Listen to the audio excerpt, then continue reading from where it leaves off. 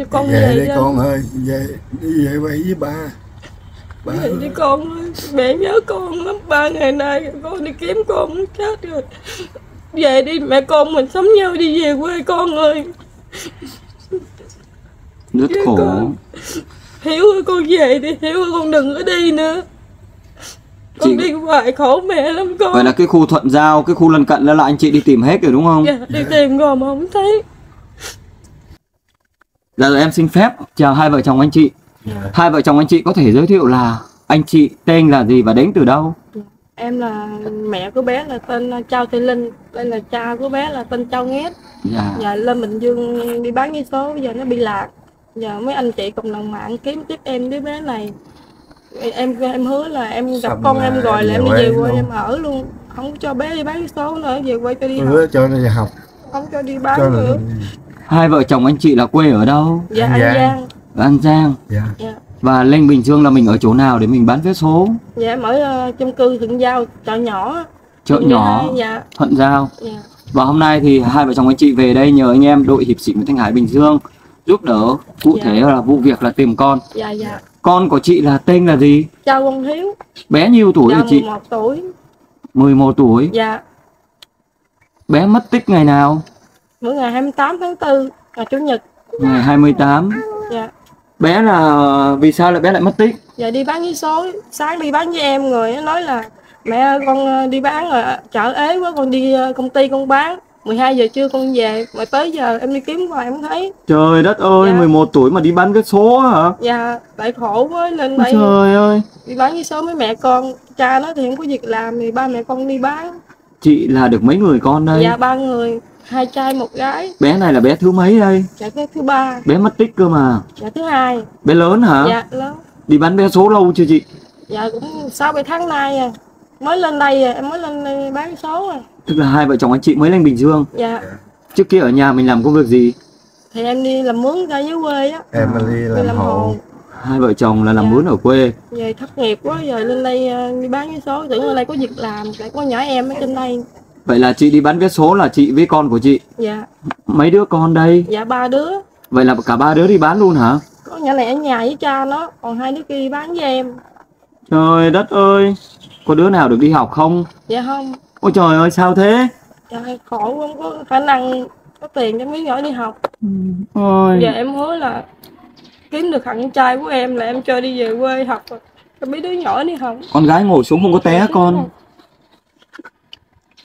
Vậy là ba đứa con của chị là có đứa nào được đi học không? dạ, dạ không. không Vậy là trước giờ là không biết. con nhỏ giữa là học của giáo Ừ.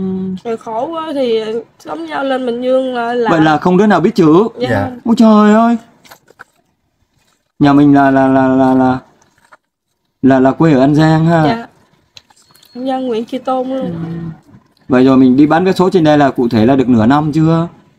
dạ chưa đâu mới có bữa em lên là Tết năm vừa rồi là mới có 6 tháng à lên đây nữa là cũng được 9 tháng rồi À, 9 tháng. Dạ. Thường thường là hai mẹ con đi bán, ba mẹ con đi bán dạ là đi chung hay sao?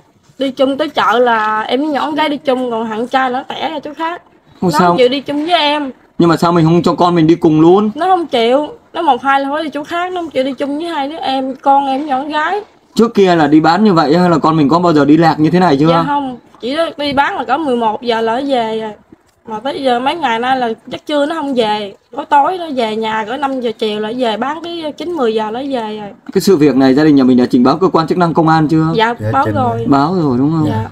Và bây giờ thì khi con đi có đem theo điện thoại không? dạ không.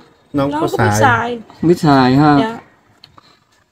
Giờ Trời em đồng mạng nó kiếm tiếp em đang cho em tìm bé đang đi về quê. Em nói Em kiếm giờ nào là em đi về quê cho con cái Vậy là địa điểm chính là thường thường mình bán ở khu chợ nhỏ Thuận Giao. dạ Ngoài địa điểm đó còn địa điểm nào nữa không? chỉ là lại gần ờ, mấy ngày thường ta còn đi làm công ty á, thì bán vòng vòng công ty. Tám chín giờ là vô chợ rồi. Rồi nó vô chợ hồi là nó chỗ khác nó bán nữa nó không đi lại gần em. Hai vợ chồng nhà mình tìm hết khu chợ nhỏ chưa? giờ tìm hết trơn rồi không thấy. Có bữa đêm đó người ta thấy rồi mà nó không chịu về nhà nó ngủ ngoài đường vậy nó không chịu về nhà. Em Vậy là đi bụi luôn rồi. dạ đi bụi đó ở em tìm cháu để cho con về hiếu ơi về với mẹ đi con con đừng đi bỏ mẹ. Con về đi con ơi. Đi, đi về quê với mẹ không cho con bán ở đâu. Con về đi con. Bán vé số em hỏi thật này. dạ. Ba mẹ con bán như vậy được một ngày thu nhập được bao nhiêu? Dạ khi ờ, có hai trăm tư khi ba trăm vé cũng có. Là lên đây mình ở trọ hả? Dạ. Còn anh trai? Dạ, anh là chắc họ vậy. tên là gì? Chao ngét. Chao ngét Chao Nghét, hả? dạ. Ủa anh là người người người dân tộc. Người dân tộc dân ha. tộc. Dạ em cũng người dân tộc dân tộc À. này. còn anh lên đến Bình Dương là anh làm công việc gì? Là lúc là em lên là đi làm hồ bây giờ thất nghiệp. Là là ở nhà. Dạ. Đi xin mà bảo vệ người ta không nhận tại vì sao thế? giò Giò bên bự bên nhỏ. Đâu anh giơ cái giò lên em xem nào. À. Rồi ổng bị bệnh thận nữa. Anh giơ cái giò bên kia lên em xem nào. Ô bên to bên nhỏ rồi. Dạ. Dạ. Cái này là anh anh anh bị bẩm sinh hay là bị sao mà bị vậy? Bẩm sinh nhỏ là đi sinh bảo vệ đâu được hả? Dạ ta đâu nhận đâu. Ừ. mình có nhậu nhẹt gì không? Dạ không. Thuốc nhậu. thang không? Có có hút thuốc. có hút thuốc nhưng không nhậu nhẹt đúng Dạ. không? Dạ. Nhìn thấy mặt anh hiền khô này. Không biết nhậu này kia hết trơn á. Vậy là kiếm việc khó lắm hả? Dạ. Dạ. Tại đi xin lần đi bên bự nhỏ em nói nhận. kim gặp con em em về quê sống. Về quê ha. Dạ. Dạ. Cho con cái đi học. Em đi Đúng rồi. cũng được nữa. Khổ như thế nào thì cũng đã khổ rồi nhưng mà làm sao phải cho con cái được đến trường? Dạ. Bởi vì sau này nếu con cái mà không được học hành thì tương lai của chúng khổ lắm. Ở dưới em cũng tại không có nhà À. rồi lên đây muốn ở. Giờ em về dưới là em kiếm nhà là nó bỏ quan mình muốn mình ở. Ôi trời đất ơi chứ ở quê Nhà mình mình mình mình mình không có nhà hả? Không có dạ không có đất không có gì hết. Nhà cha mẹ đâu? Ba mẹ thì đó chết Cha bà mẹ bán mất lâu rồi, bán. bắt lâu rồi bà bán. Tại chưa gặp cũng hay ở à, trọ nè vậy đó ở nhà ở đất nè ở nhà đất người ta. Ôi trời ơi. Rồi đất người ta bán người ta kêu mình tháo ra chứ bây giờ về con. dưới giấy tờ của các con này sao rồi? Ổn định chưa? Dạ, Có giấy tờ không? giấy tờ có hết trơn đầy đủ rồi. Vậy là về dưới là kiếm ngôi nhà nào hoang thì ở hả? Dạ Dạ. cho con cái đi học. Mình không có bà con họ hàng dưới quê hả? Dạ có nhưng mà Ừ. cũng ai cũng nghèo giống nhau à. Không có ai giúp đỡ được hả? Dạ. trời ơi. Chị là năm nay nhiêu tuổi rồi? Dạ 28 tuổi. 28 hả còn anh 34 à, từ Ủa anh 34 hả? Dạ. Dạ. Anh 34 mà anh còn ít tuổi hơn em đấy. Dạ 34 tuổi. Trời ơi. Bây giờ là con đi lạc như vậy là bây giờ là từ ngày 20 ờ, 28 28 dạ. Tới giờ là mình chưa có một cái tin tức gì. Dạ dạ chưa. chưa. Hôm nay là ngày mùng 1 rồi. Dạ. Ba ngày trời rồi. Rồi chưa thấy nữa. Em thấy em đi về quê không ở trên đây nữa đâu con nhà mình có hiền ngoan không? Nó ngoan lắm nó không có vậy bạn ai hết trơn á. Đi ra ngoài đường ngoài đời nó có lanh lợi không? Dạ Lạnh có. mà lanh sợ em hả? sợ nó bán nó ôm nó không dám về. Rồi ai làm gì nó nó kêu con bữa nó ôm hoài em nói thôi ôm thì con về con đừng có đi tội nghiệp mẹ mẹ kiếm con khổ lắm. Ôm khi bao chục vé cũng có nữa. Rồi thì- ôm là mình bán không hết hay dạ sao? nó nó mê ngủ nó ngủ hoài à nó đi bán là nó ngủ. Tại vì đúng ra như thế này này bé nhà mình đang cái tuổi này là tuổi ăn tuổi chơi tuổi học Dạ. hành nhưng nhà mình vì cái hoàn cảnh cái điều kiện kinh tế không cho phép nên Dạ. các con của chị phải lặn lội đi ra đời đi bán vé số đấy nha. Dạ dạ. Chứ đúng là cái tuổi này này tuổi này là đang được cơm mẹ ăn mẹ còn phải dâng tới miệng kìa. Đi học đi hành về đi chơi nhá dạ. Khổ lắm bây giờ là thương sao thương ba đứa con phải cố gắng hai vợ chồng dù khổ như thế nào cũng phải cố gắng hết sức mình. Dạ. Mà em hứa với anh kim gặp con em em về quê em kiếm gặp giờ nào là em về quê Về giờ đó. quyết định suy nghĩ kỹ chưa? Dạ kỹ. Chị thấy cuộc sống ở trên đây như thế nào? Bon chen không? Dạ. Em kiếm được em về. Em em em nói qua em thề luôn em kiếm được con em về. Không cho nó ở trên đây nữa. Ba mẹ con em chị về. thấy cơm cơm ở trên đây nó khác cơm quê không? Dạ. Đi làm trên này là mở mắt ra là phải tiền rồi. Anh chị ạ phải chi tiêu tiền nhà trọ tiền đủ thứ tiền. Dạ. Nhá. Nhưng mà thôi thì à, cố gắng làm sao ở quê hay ở trên đây thì cũng được. Nhưng mà phải cố gắng làm sao dạ. cho được các con đi học bé 12 tuổi này giờ là thua đâu đi học nữa hả? Dạ không biết chữ không có đi học. Ôi trời đất ơi giờ là không đứa nào biết chữ hết. Dạ dạ không. ba đứa luôn. Khổ quá. Ừm. nhưng mà chị mà anh chị anh ba tư mà anh đẻ ba đứa là anh giỏi rồi đấy thật mà. Nhưng mà sao hồi đó mình đẻ đẻ đẻ mình kinh tế khó khăn mà mình đẻ nhiều vậy. Rồi giờ nó đầu thai lên rồi em cũng biết Ừm, sao. thôi là cái duyên cái số dạ ha duyên số mẹ Chứ vậy- con giờ chứ bây giờ mình đâu có trách móc được Dạ. đúng không? Nha thôi cố Bỏ gắng thì đi. tội lắm anh hãy nói một điều gì đó với con trai của anh đi. Nói với anh cho con về về đi con ơi về đi về quê với ba. Ba Về đi con ơi, mẹ nhớ con lắm. Ba ngày nay con đi kiếm con muốn chết rồi. Về đi mẹ con mình sống nhau đi về quê con ơi. Rất khổ. con- hiếu ơi con về đi hiếu ơi con đừng có đi nữa con Chị- đi hoài khổ mẹ lắm con. Vậy là cái khu thuận giao cái khu lân cận đó là anh chị đi tìm hết rồi đúng không? Dạ, đi tìm rồi mà không thấy. Thì tối bây giờ chị đang sợ nhất con mình sẽ gặp điều gì đây? Em sợ người ta bắt cóc thôi. Ừ, sợ bắt cóc ha dạ. Nhưng mà em tin rằng là không có ai bắt cóc đâu em sợ là bé Dạ. có thể là ờ, đi bán vé số hôm đó. Một là gặp cái sự cố gì đó thứ nhất là mất vé số thứ hai là bán còn nhiều nên bé sợ về bị ba mẹ la dày dạ. Nên bé không dám về á em trước giờ có la không? Dạ không. Mất số cỡ nào về đi con cậy mình không có tiền mình thiếu thầu đi mình đưa từ từ trả người ta. Nó dạ là con xin lỗi cha mẹ con nghĩ ôm số rồi con không ngủ nữa. Nó hứa với em bữa đó là tới giờ nó đi mất tiêu luôn đó.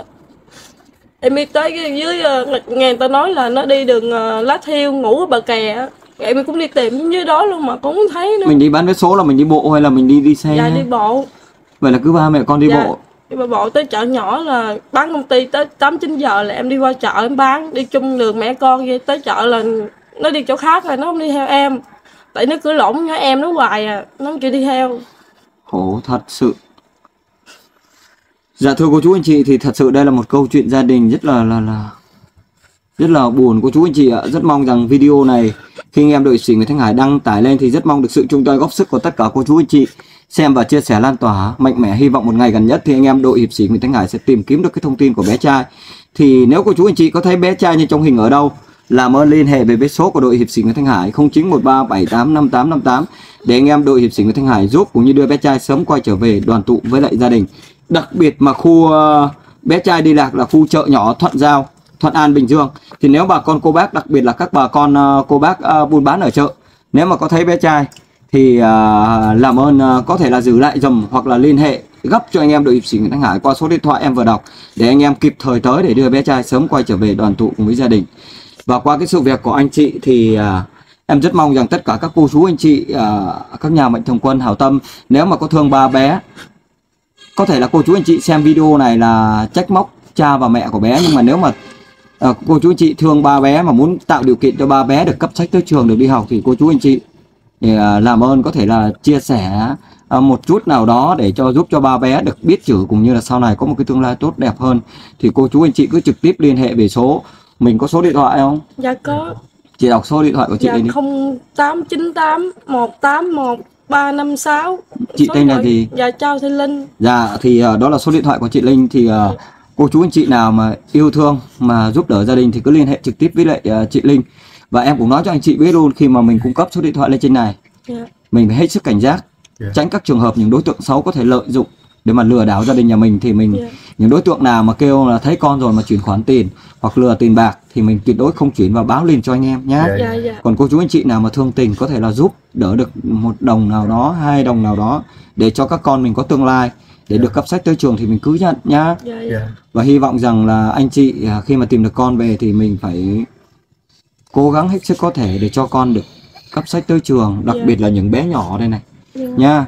Nhìn thấy sau này mà các bé mà không được biết chữ cũng như không được cấp sách tới trường thì sau này tương lai thật sự rất buồn. Dạ. Anh chị thấy cuộc đời của anh chị khổ không? Dạ. dạ. Mình thấy mình khổ chưa? Dạ thấy. Mình có muốn lập lại đời các con không? Đúng không ạ đây mà giờ, bây giờ là đời anh chị đã khổ rồi thì mình phải cố gắng lên đi. Dạ. Khổ khổ nữa không sao nhưng mà đừng để cho các con khổ là được nha. Dạ. cố gắng nha. Dạ. rồi thì, à, hôm nay anh chị về đây nhờ anh em quay phim ghi hình đăng tải lên khắp các trang mạng xã hội để tìm con. Anh chị có đồng ý cho tất cả các anh em chia sẻ câu chuyện này lên khắp các trang mạng xã hội để tìm con mình không? Dạ rồi đồng ý ha. Dạ. dạ. Cố gắng nha. Dạ. dạ. Rồi xin phép chào anh chị. Dạ. Chúc cho gia đình nhà mình nhiều sức khỏe và cái điều đặc biệt là ngày nay ngày mai thì anh em đội hiệp sĩ Nguyễn Thanh Hải sẽ tìm được con Dạ. của anh chị về cho gia đình nhá dạ Dạ. em cảm Cảm ơn anh chị chứ Dạ. và khi cô chú anh chị thì à, giúp đỡ chị Linh thì không cần phải thông qua anh em đâu nhá cô chú anh chị Dạ. nha cứ trực tiếp liên hệ với chị Linh để mà giúp đỡ Dạ rồi thì em xin phép xin chào tất cả cô chú anh chị trên cộng đồng mạng hẹn cô chú anh chị ở những video tiếp theo dạ Dạ.